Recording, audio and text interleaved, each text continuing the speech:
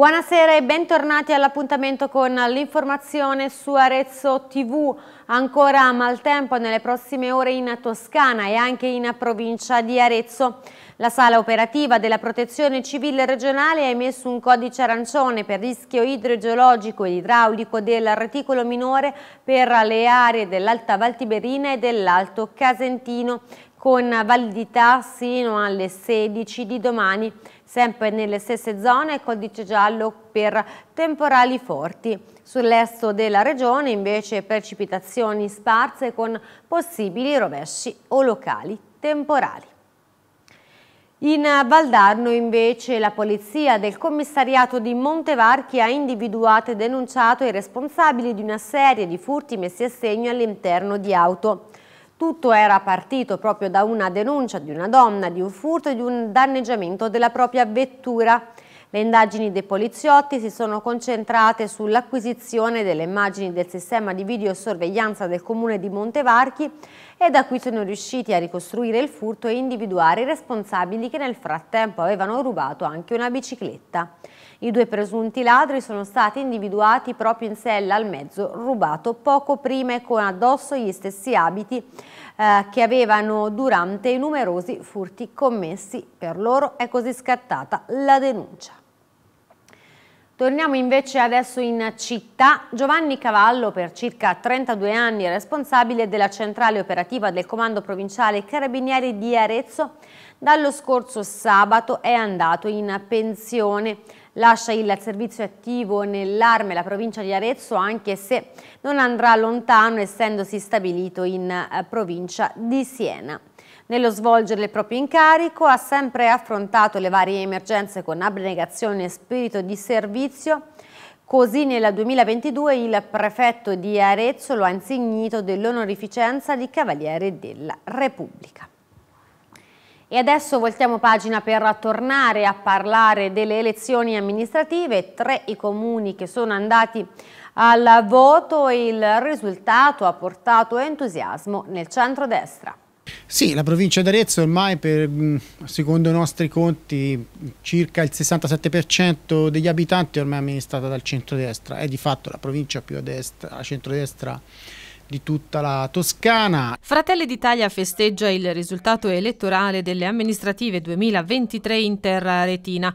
Il vero ribaltone si è avuto a Laterina Pergine Valdarno, comune storicamente amministrato dalle forze di centro-sinistra o comunque moderate e che adesso vira a destra con Jacopo Tassini. È stato importantissimo quello che è stato fatto già cinque anni fa dove purtroppo forse la questione ancora delle fusioni, della fusione aveva creato delle grosse problematiche non aveva consentito a un centrodestra di poter vincere. Noi riteniamo che Jacopo Tassini sia la persona giusta per rimettere diciamo, la, la, popolazione al centro dell'azione politica e soprattutto ridare quella dire, eh, capacità agli abitanti sia di Laterina che di Pergine di sentirsi una comunità e provare a vedere se questa fusione possa dare dei frutti positivi. Secondo noi è stato al tempo un errore ma oggi il comune è unito e dobbiamo cercare di ricostruirlo in maniera armoniosa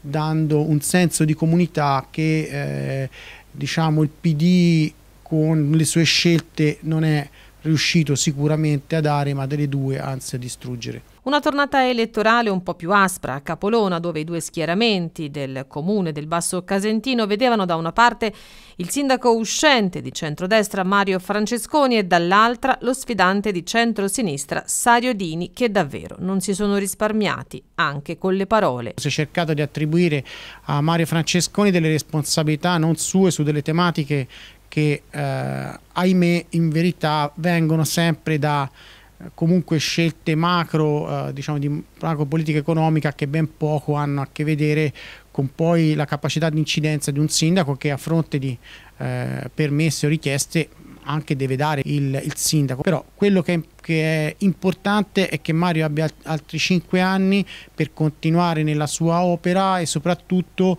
nel ripristinare quella, quella sua immagine facendo chiarezza su eh, tante cose dette che in verità sono delle vere e proprie bufale. E infine Caprese e Michelangelo a prevalere qui è stata la lista trasversale del neo sindaco, prima donna per il comune della Valtiberina, Marida Brogialdi. Sì, Caprese Michelangelo una lista unica che vede presenti sia esponenti di centrodestra che di centrosinistra, eh, con una connotazione diciamo civica, eh, ci risulta che almeno la metà, forse qualcosa di più dei candidati eletti comunque vengano dalla precedente esperienza dell'ottimo sindaco Claudio Baroni che almeno noi abbiamo sempre stimato. Dovremmo vedere eh, come e in che modo vorrà impostare la sua politica, sicuramente di ambito civico, ma in qualche modo con qualche legame in più con l'area di centrodestra piuttosto che con l'altra area. Ancora politiche, Marco Casucci, vicepresidente del Consiglio regionale, a tracciare un bilancio della prima metà del mandato. Riconfermato da poche settimane alla carica di vicepresidente del Consiglio regionale della Toscana, Marco Casucci, consigliere della Lega, traccia il suo personale bilancio di metà mandato. Quest'ultimo periodo per Arezzo sicuramente c'è stata dal punto di vista sanitario in particolare, l'attenzione per quanto riguarda il San Donato che abbiamo cercato in tutti i modi eh, di eh, eh mantenere e valorizzare come un ospedale di eccellenza. Io sono intervenuto eh, sotto eh, più profili proprio per far sì che vi potessero essere delle sostituzioni eh, di macchinari come la PET che è stata sostituita quando era diciamo, rotta e mancava un pezzo, come l'attenzione per il reparto di nefrologia che è stata costante in questi anni, come potrei dire anche per la cittadella della salute che ci auguriamo veramente possa sorgere quanto prima nella zona del più pronta, quindi un'attenzione per quanto riguarda il profilo eh, sanitario che è la voce più importante del bilancio regionale continua. Certo, come ho detto, Arezzo purtroppo eh, riceve molto meno di quello che dà, nel senso che la nuova eh, organizzazione sanitaria eh, della eh, Aslona fondamentalmente Arezzo versa molto di più di quello che riceve poi eh, dalla regione e questo non può assolutamente andare bene. Siamo inoltre preoccupati delle risorse per il nuovo ospedale perché veramente eh, vengono a mancare delle risorse importanti per la, la ristrutturazione. Ha sempre avuto un'attenzione particolare per tutti i temi sanitari, ultima in ordine di tempo, una sua interrogazione in Consiglio ha riguardato il potenziale ridimensionamento della neurologia dell'ospedale del Valdarno attenzione ma al tempo stesso pungolo per la regione per far di più per eh, la nostra eh, città. Bisogna dire con molta franchezza che siamo state vittime di una centralizzazione non voluta dalla gente di Arezzo. In questa slona fa la parte del Leone Siena con le scotte e con l'università. A noi questo non ci sta bene. Io faccio il vicepresidente del Consiglio regionale di tutta la Toscana, ma sono eletto in questo collegio e fino a quando ci sarò dirò che le cose devono cambiare perché questa nuova organizzazione sanitaria non fa sicuramente il bene e gli interessi della città. E abbiamo visto che possono tornare indietro, potrei dire i distretti sociosanitari eh, della Valtiberina e del Casentino eh, sono tornati noi si diceva che anche lì avere un unico distretto sociosanitario eh, di quasi 200.000 persone tra Arezzo, la Valtiberina e il Casentino non facevano gli interessi delle vallate e eh, diciamo di fatto sono tornati indietro. Noi auspichiamo che vi sia quantomeno quanto meno autonomia finanziaria per Arezzo, perché le risorse di Arezzo sono di Arezzo, altrimenti si torna indietro. 10.000 euro invece il contributo a beneficio dell'Ufficio Immigrazione e Integrazione Pari Opportunità. Grazie a questa somma messa a disposizione dal Comune di Arezzo, l'Ufficio provvederà a finanziare i progetti degli istituti comprensivi del convitto nazionale finalizzati a sostenere la conoscenza della lingua italiana e a promuovere percorsi di facilitazione per gli studenti arrivati di recente o che presentano difficoltà nell'uso di questa lingua. E adesso passiamo all'economia. Oggi ultimo giorno di Oro Arezzo che chiude l'edizione 2023 con un bilancio positivo, più 40% di affluenza di visitatori rispetto al 2022. È abbastanza bene, non c'era molta presenza di espositori, però i clienti c'erano e abbiamo anche lavorato, diciamo. Non una fiera al top, ma considerato il periodo che non è il migliore dell'anno, una fiera discreta. Non è che la fiera poteva risolvere quelle cose che, che, che si sta vivendo tutti i giorni. Nel, nel, nel complesso diciamo, siamo abbastanza soddisfatti. Molte luci e qualche ombra, si chiude così l'edizione 2023 di Oro Arezzo. Dopo effettivamente i due anni di Covid che l'hanno vista chiudere e l'anno scorso che ha avuto un calendario diciamo meno favorevole, invece quest'anno siamo ripartiti eh, con le sue date, con i suoi buyer, con le, sue, con, le, con le, aziende e la tendenza è molto positiva e molto buona, già siamo sui livelli del 2019 quindi molto bene e anche rispetto all'anno scorso insomma siamo crescite doppia cifra. Nuovi contatti anche veramente da paesi che prima non si erano mai visti quindi positivo direi. Quantomeno per i mercati nostri abbiamo avuto diversi clienti, quindi siamo stati soddisfatti. Quali sono i vostri mercati? Beh, tendenzialmente diciamo, siamo sui mercati arabi e Medio Oriente. Non è stata per me una fiera entusiasmante. Avrei preferito più presenze sinceramente dal punto di vista europeo. In città sono arrivati oltre 350 espositori e 400 buyers provenienti da 45 paesi tra i principali mercati di sbocco del settore orafo-gioielliero italiano. Per Arezzo il mercato principale resta Dubai come hub di distribuzione per tutto il Medio Oriente, eh, ma l'America è comunque un mercato sempre importante per noi e la Turchia è diventata soprattutto negli ultimi anni un hub. We are happy. We are one of the oldest Turkish company exhibiting here. We have many customers, especially from Italian companies. Good show. Arezzo nel 2022 si è confermata prima provincia esportatrice di beni preziosi con 3,2 miliardi di euro pari al 31% del nazionale. Assolutamente il Made in Italy è in un momento molto brillante, quindi va sfruttato soprattutto qui ad Arezzo che, che rappresenta il distretto più grande in Italia. Riflettori accesi anche sulle tecnologie produttive. Abbiamo avuto viste di vecchi clienti e anche di nuovi clienti che vogliono approfondire questo discorso sotto l'industrializzazione dei loro nuovi macchinari. Vediamo ecco, come andrà il dopo. Tra le collaterali di questa edizione anche la presentazione del volume Oro d'autore. Questo è un catalogo speciale dove c'è veramente di tutto, ci sono questi oggetti meravigliosi di artisti, di, di scultori, di, di, stilisti, fatti dalle aziende aretine. Un volume dedicato alla collezione oro d'autore. È infatti il Palazzo di Fraternita nel cuore della città, in Piazza Grande, ad ospitare l'omonimo museo, una mostra permanente dedicata all'arte orafa del territorio.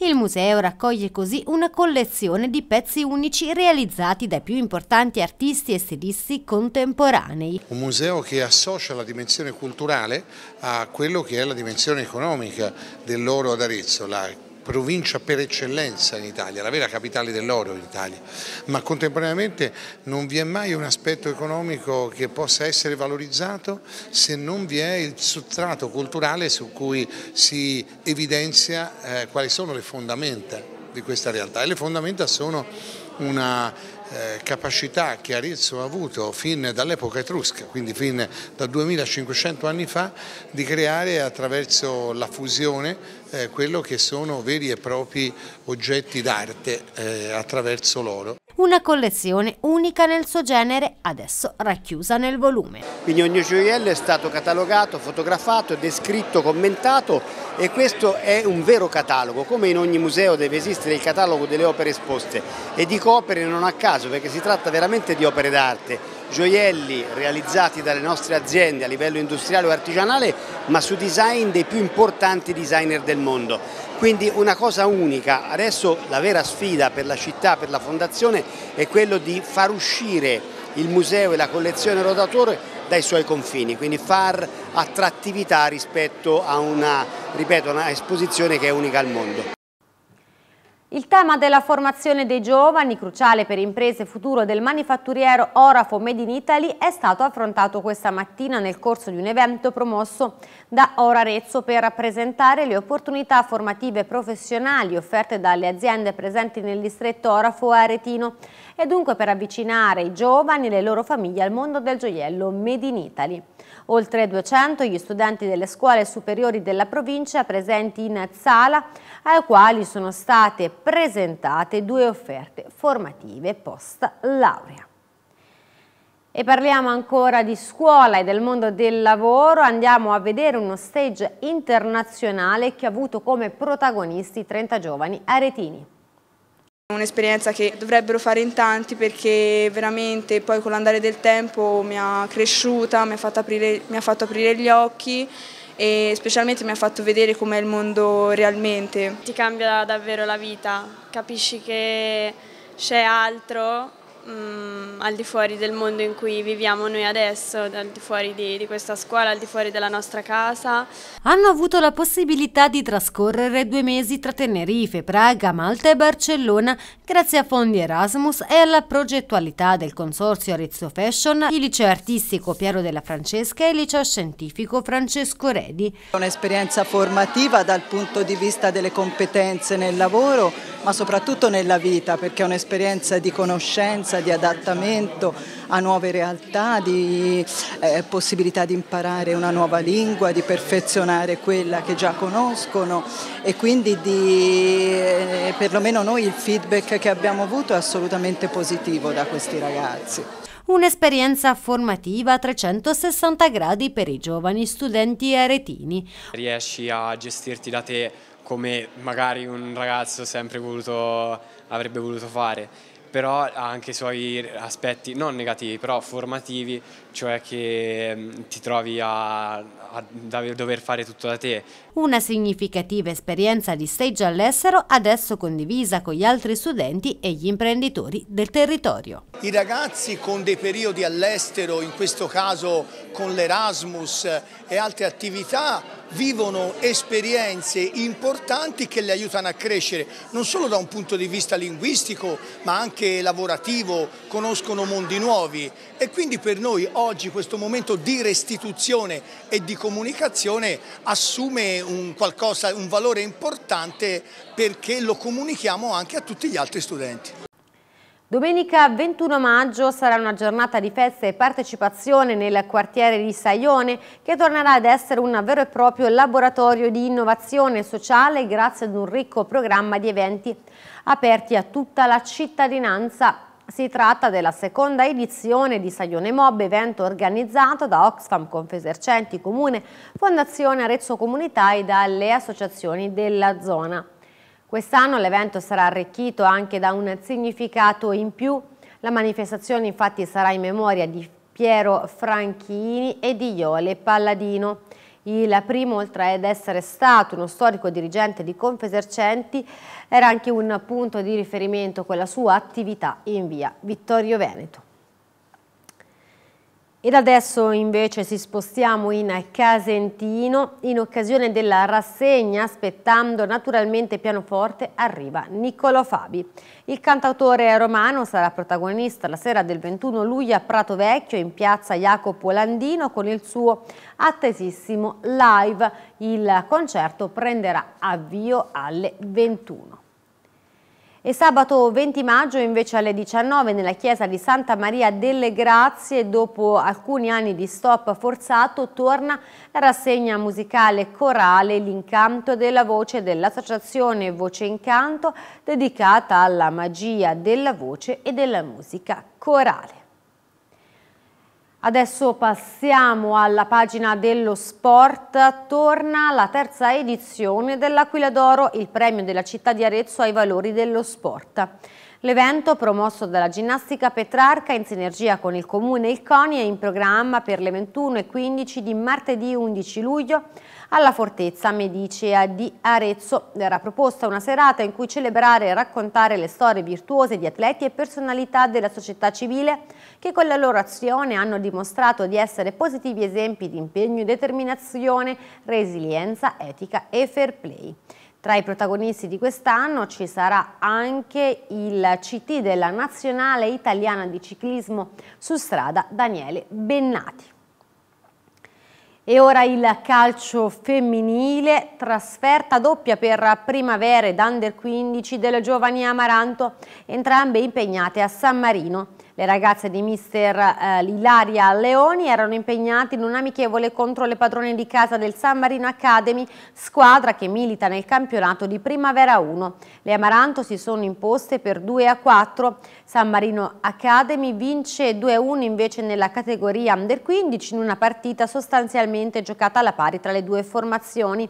Straripanti poi le Under 17 contro l'Academy Livorno, la stessa Academy Livorno che ha avuto invece la meglio sulle pari Amaranto di mister Bracciali.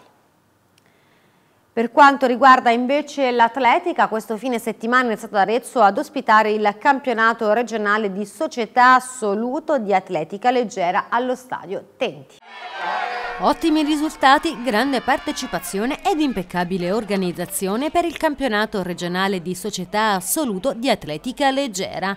L'Alga Atletica Arezzo ha infatti ospitato la più importante manifestazione toscana primaverile che ha registrato circa 1500 iscrizioni da 50 società in 40 diverse specialità di velocità, salti e lanci, fornendo così la possibilità di vedere in azione allo Stadio Tenti anche alcuni atleti della nazionale nazionale italiana. Stavolta è stata molto partecipata con personaggi molto importanti dell'atletica toscana, quindi una bella due giorni di sport, peccato per il maltempo di ieri, però insomma, la gara è, è, si è svolta liscia lo stesso, siamo molto molto contenti, tanto pubblico, tanti atleti, quindi un, due belle giornate di sport. Gli atleti aretini sulle piste dello stadio Tenti hanno conquistato un oro, un argento e due bronzi. Sicuramente nelle corse sono andati particolarmente bene perché questa pista è particolarmente buona per le corse. I concorsi sono stati un pochino ieri più penalizzati dal maltempo chiaramente, però insomma in media dicevo risultati di un livello medio-alto. Ci sono diversi ragazzi, prima di tutto Nicola Sgavagni che già nello scorso anno ha fatto una nazionale allievi nel salto in lungo, è arrivato terzo ai giochi della gioventù europea che ha già fatto 7,06 m, è allievo, quindi un, sicuramente uno che ha un, un bel futuro davanti. Questa per stasera era l'ultima notizia, vi ringrazio per l'attenzione, arrivederci.